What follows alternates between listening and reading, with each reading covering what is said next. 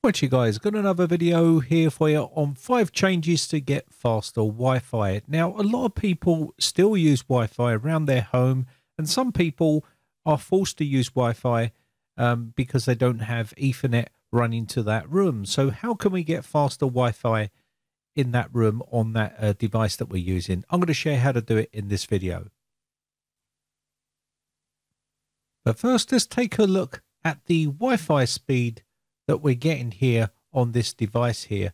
So you can see we're getting 170 Mbps on this Wi-Fi connection. And I'm pretty close to the router here. Uh, but you can get faster speeds if you have a Wi-Fi uh, card or router that supports uh, these speeds. So let's go ahead and uh, make some changes. So what you're going to need to do is right click on the start button and go to device manager. This will open up our device manager. We want to go to network adapters here.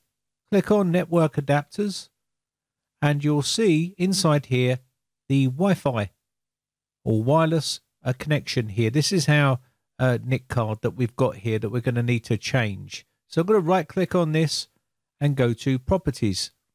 This will open up this box and you can see the device is working properly but we're interested in going to advanced. So inside here, the first thing you're going to look for is this section here, which says 802.11abg wireless mode. So inside here, you want to make sure that you're using the best dual band possible. So I'm going to be putting it on this one here. Next, we want to go down to the next one, which says 802.11n forward slash AC wireless mode and make sure that we are using the AC mode here. So they are the two ones that we need to do on this side here. So what we're going to do is come down and you can see here channel width for your 2.4 gigahertz. We've got this on auto. Leave that on auto there. And also we've got the channel width for 5 gigahertz. We're also going to leave that on auto the fat channel here, we're going to change this to enable. And then we're going to come down a bit further. Let's see what else we got here.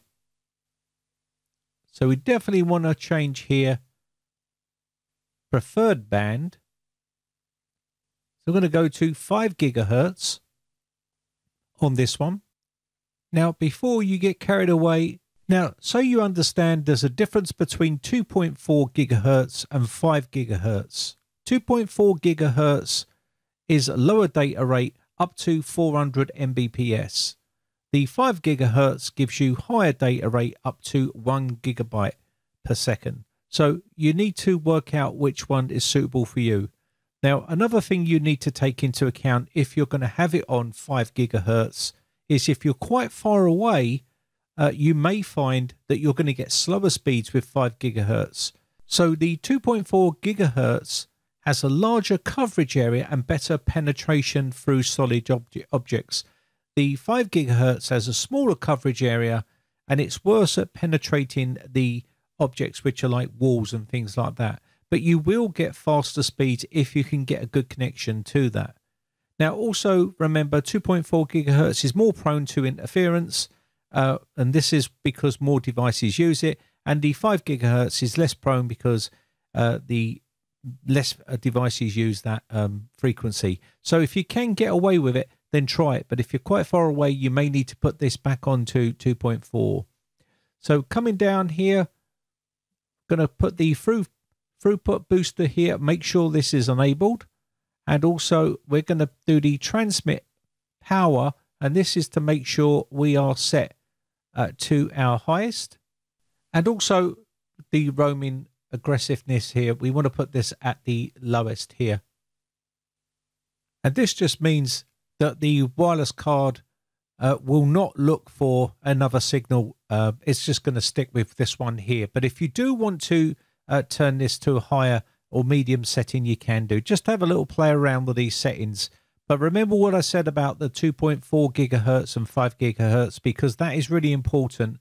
But once you've got this done, you want to make sure that you check your driver as well, that you've got the very latest driver installed on the system. And I've got the latest Intel driver. You can get this from the manufacturer's uh, site, either Intel or whatever driver you're using uh, for your network card.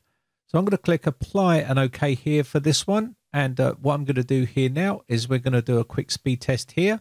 Now you want to make sure you restart your computer and uh, that's what I'm going to do now. So let's go ahead and quickly restart here. So let's go ahead and give it another speed test. Now your speed test may vary from mine depending on what sort of um, package you're on for your ISP.